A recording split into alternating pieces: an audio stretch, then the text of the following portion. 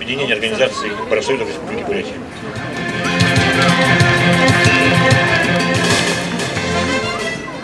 Добрый вечер, уважаемые коллеги. Буквально три минуты. А, Меня как-то спросили, а, вообще как молодежь относится к пенсионной реформе. Может быть, им вообще все равно? 20-18 лет, ну, когда они выйдут на пенсию? Это уже не первый митинг, на котором я присутствую. И когда я была э, раньше, я видела, что молодежи было буквально там 5-10 человек. Сейчас я вижу, что молодежи очень много. Это здорово. То есть э, можно сказать, что молодежи не все равно. Давайте обратим внимание на ту же Европу.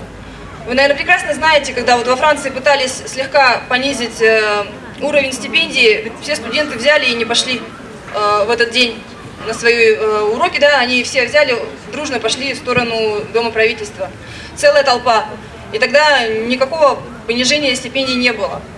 Когда в той же э, Германии или в Бельгии пытались э, повысить цену за топливо, за бензин, люди просто берут, бросают свои машины, закрывают их и уходят.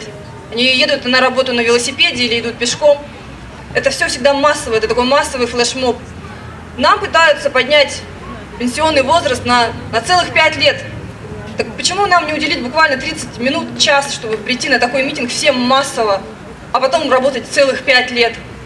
От лица э, молодежи, э, молодежного совета организации профсоюзов, я хочу сказать, что мы, конечно, против, против повышения пенсионного возраста.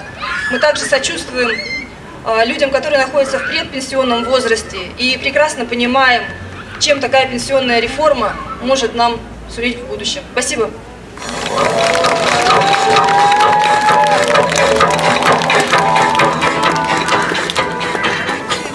У нас еще одно выступление, последнее выступление, и будем принимать резолюцию.